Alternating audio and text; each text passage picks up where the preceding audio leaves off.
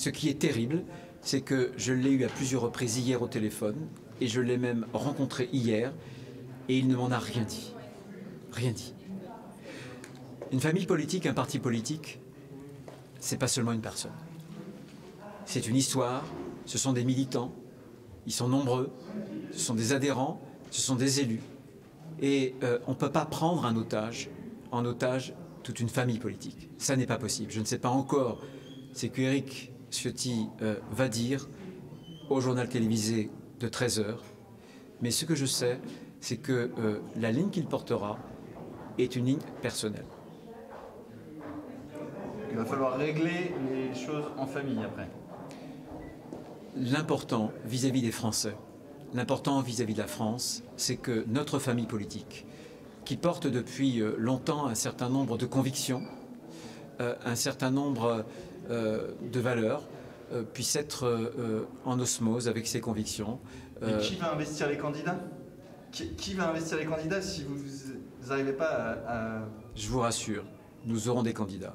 Et les candidats que nous aurons, les candidats que nous soutiendrons, ce sont les candidats qui porteront nos couleurs, qui combattront sous ces couleurs, avec nos valeurs, avec un projet. Un projet pour la France, parce que nous voulons une école qui puisse transmettre un héritage des savoirs. Nous voulons euh, l'ordre dans la rue.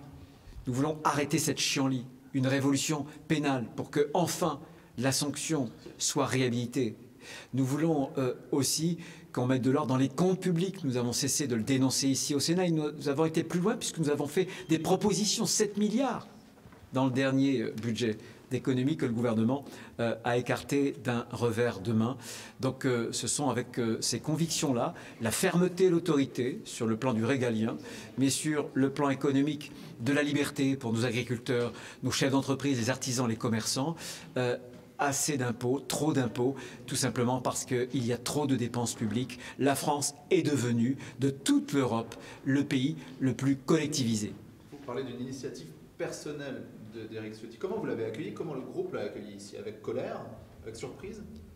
Les deux mélangés, mais d'abord avec colère. D'abord avec colère. Comment se peut-il qu'après un compagnonnage, après s'être parlé, après s'être vu, y compris en réunion, euh, on apprenne euh, au détour de dépêches, euh, au détour de rumeurs, ce qui pourrait être dit dans quelques instants au journal télévisé?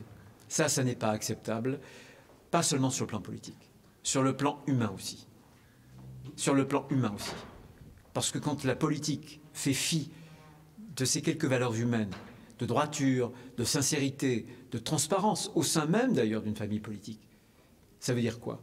Si on n'est pas capable de respecter ce qui doit fonder euh, en vérité les relations euh, entre les membres d'une même famille politique.